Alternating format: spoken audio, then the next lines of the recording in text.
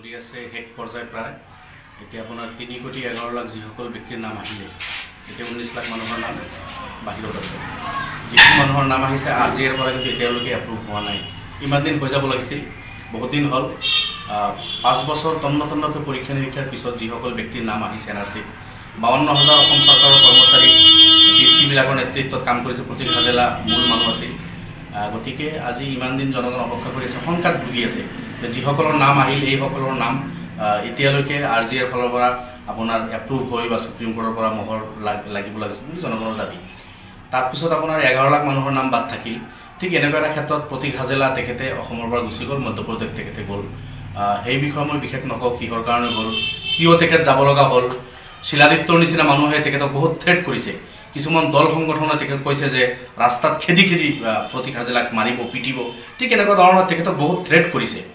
এইজন ব্যক্তি মোটামুটি ঠিক ঠাকেই কাম কৰিছিল। গোটেইখিনি এজন মানুহে কাম কৰিলে ভুল হয়। কিন্তু যিমানখিনি এটা পৰ্যায়লৈকে গৈছিল আৰু এই পাঁচ বছৰৰ পিছত জেগাত থাকি মানুহজন কাম কৰি একেবাৰে অন্তিম সময়লৈকে থাকিব পাৰিলে ভাল হ'লহেঁতেন।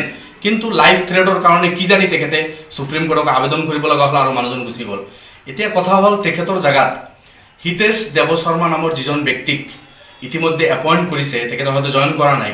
এজন বিতৰ্কিত ব্যক্তি। আৰম্ভণিত এইজন প্ৰতীক হাজেলা চাহাবৰ সহযোগী হিচাপে আছিল। কিন্তু কিছুদিন পিছত তেখেতে নিজে ইয়াৰ পৰা নাই।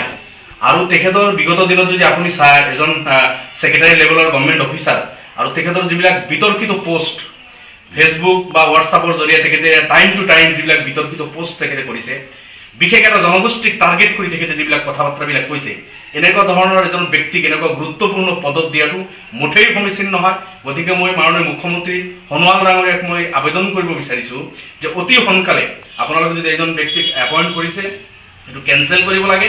কোনোপধ্যেই যাতে তেখেতক চাৰ্জ বুজাই দিয়া নহয়। এনেকুৱা এজন বিতৰ্কিত ব্যক্তি যিজন মানুহৰ গণতন্ত্ৰৰ প্ৰতি যিজন মানুহৰ বিশ্বাস নাই কোনোবা এটা জনগোষ্ঠীৰ মানুহক টাৰ্গেট কৰি তেখেতে সদায় কথা বাৰ্তাবিলাক কৈছে বা এনেকুৱা ধৰণৰ কাম কাজবিলাক তেখেতে কৰিছে। তেনেকুৱা মানুহক ইয়াৰ এনেকুৱা পদত থকা মই ভাবোঁ কোনো নৈতিক অধিকাৰ নাই। আমি অসম চৰকাৰক এইটো দাবী জনাইছোঁ।